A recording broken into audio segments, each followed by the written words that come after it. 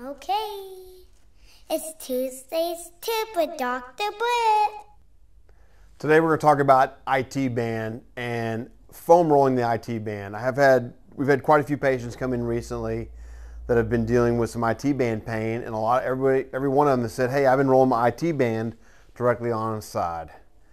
Um, one thing we always show, talk to them about is the IT band is not one that you actually necessarily foam roll because it doesn't move, it doesn't stretch. It is there to store elastic energy.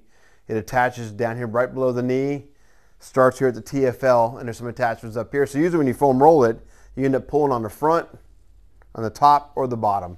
So what we like to do is we like to talk to people about rolling on a 45 degree angle. IT band is a nice thick wedge. A rectangle goes from here to there. So what we like to do is we like to get on here. I'm gonna roll the front half. So I just get down in a oblique angle. I'm gonna roll the IT band on that 45 degree angle on the front. And then I'll roll it and get it on the back. So I'm not rolling directly on it. And that way you get in there, you get the edges where the friction develops, you get that to release, go on about your business.